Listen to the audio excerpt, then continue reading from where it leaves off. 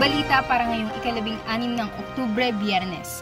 Ilang netizens ikinagalit ang pagtrato kay Nasino sa libing ng kanyang anak. Hindi nasikmura ng ilang netizens ang nangyaring eksena sa araw ng libing ng anak ng aktivista at political prisoner na si Reyna May Nasino.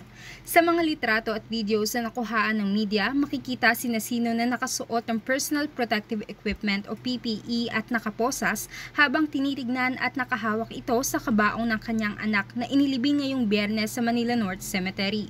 Habang nagdadalamhati si Nasino ay nakapalibot naman sa kanila ang maraming pulis.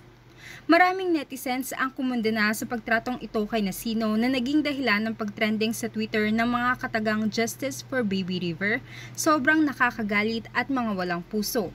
Ilan sa kanila ang nagsabing hindi man lang hinayaang maging mapayapa ang pagluluksa ni Nasino para sa kanyang anak at ni hindi man lang daw tanggalin kahit saglit ang posa sa kamay ni Nasino para mahagkan man lang nito ang kanyang anak sa huling pagkakataon.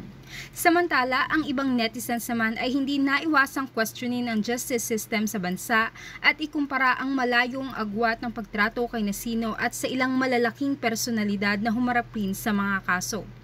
Dinipensahan naman ng Department of the Interior and Local Government ang mga Bureau of Jail Management and Penology o BJMP personnel na nag-escort kay Nasino at sinabing kumilos daw ang mga ito ng may professionalism, restraint at integrity sa kabila ng natanggap nitong provocation, pang-iinsulto at harassment sa mga tao.